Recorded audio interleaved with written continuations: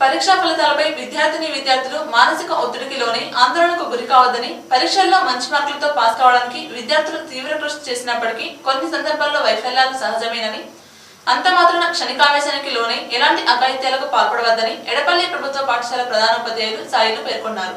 రేపు విడుదల కానున్న పదవ తరగతి పరీక్షా ఫలితాలను దృష్టిలో ఉంచుకొని ఎడపల్లి మండల కేంద్రంలోని ప్రభుత్వ పాఠశాలలో చదివిన విద్యార్థిని విద్యార్థులతో పాటు వారి తల్లిదండ్రులకు పాఠశాల ప్రధానోపాధ్యాయులు సాయిలు సమావేశం ఏర్పాటు చేసి విద్యార్థుల మానసిక ఒత్తిడికి లోను కాకుండా ఉండేందుకు తీసుకోవాల్సిన జాగ్రత్తల గురించి విద్యార్థులకు మరియు వారి తల్లిదండ్రులకు పలు సూచనలు చేశారు. ఈ సందర్భంగా ఆయన మాట్లాడుతూ విద్యార్థుల తల్లిదండ్రులు తమ పిల్లలతో స్నేహపూరిత వాతావరణం ఏర్పరచుకుని వారి సమస్యలను ఎప్పటికప్పుడు తెలుసుకుంటూ వాటి పరిష్కారానికి మార్గాలను సూచించాలని అన్నారు. విద్యార్థులు తమ లక్ష్యాన్ని ఏర్పరచుకొని లక్ష్య సాధనకు కృషి చేయాలని వైఫల్యాలు పొందితే బాధపడుతూ కుంగిపోకుండా పట్టుదలతో కృషి చేసి విజయం సాధించాలని విద్యార్థులకు సూచించారు. దురలవాట్లకు దూరంగా ఉన్నప్పుడే లక్ష్య సాధన సులువు అవుతుందని ఆయన అన్నారు. ఎంతో భవిష్యత్తు ఉన్న విద్యార్థులు ఆత్మహత్యలకు పాల్పడకుండా మళ్ళీ ప్రయత్నించి తమ లక్ష్య సాధనలో ముందుకు పయనించి తమ తల్లిదండ్రుల పేరును నిలబెట్టాలని విద్యార్థులకు సూచించారు. ఈ సమావేశంలో ఉపాధ్యాయులు వెంకటేష్ ఎస్ఎంసీ చైర్మన్ విఠల్ విద్యార్థుల తల్లిదండ్రులు పాల్గొన్నారు.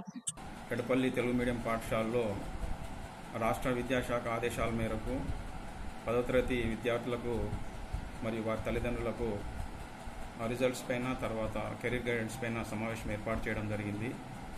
మరి ఇందులో ఆ, రిజల్ట్స్ యొక్క ప్రభావము పిల్లలపైన తర్వాత తల్లిదండ్రులపైన ఎలా ఉంటుంది మరి వాళ్ళు ఎందుకు మానసిక ఒత్తిడికి లోనవుతారు మరి మోహన్ మానసిక ఒత్తిడికి లోన్ కాకుండా ఉండాలంటే ఏం చేయాలి అనే వాటిపైన వారికి అవగాహన కల్పించడం జరిగింది.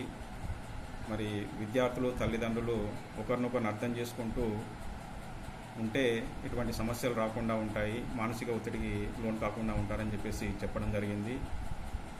మరి పిల్లలు కూడా ఏంటంటే తల్లిదండ్రుల ఆర్థిక స్థితిగతులను అర్థం చేసుకొని నడుచుకోవాలి. తర్వాత తల్లిదండ్రులు కూడా పిల్లల యొక్క సమస్యలను ఎప్పటికప్పుడు తెలుసుకుంటూ వారి సమస్యలను తీర్చడానికి ప్రయత్నం చేస్తే ఎలాంటి మానసిక ఒత్తిడికి లోన్ కాకుండా ఉంటారని చెప్పేసి తెలియజేయడం జరిగింది.